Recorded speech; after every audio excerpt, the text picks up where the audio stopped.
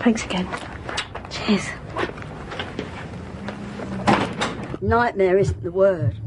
Calls, Dan's enjoying every minute of it, isn't he? Yeah, I know we didn't. Look, darling, I'm sorry to do this to you. No, no, of course not. No, I don't expect you to rush back. It's just that I thought you should know, seeing as it's Janine. Oh, don't worry. I will. Yeah. All right, darling. Take care. Bye. That was your father. Yeah, I know that. Why didn't you let me speak to him? What? And fill his head with your version of events? Not likely. Oh, right. So you got there first and dropped me in it? You dropped yourself in it, like you always do. Only this time you cost us money, not to mention the embarrassment. Dan's been grinning all day like a Cheshire cat. He's going around telling everyone how we can't run the pub.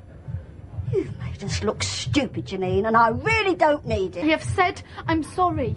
Sorry? You don't know what the word means. But Peggy, I... I've bent over backwards to make you feel at home here. And with Frank away, I gave you the benefit of the doubt. We trusted you. Big mistake.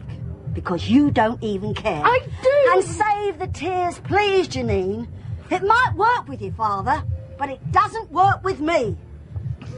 Oh, and by the way, there's a pile of washing up in the kitchen with your name on it. I don't want to see your face until it's finished. Understand?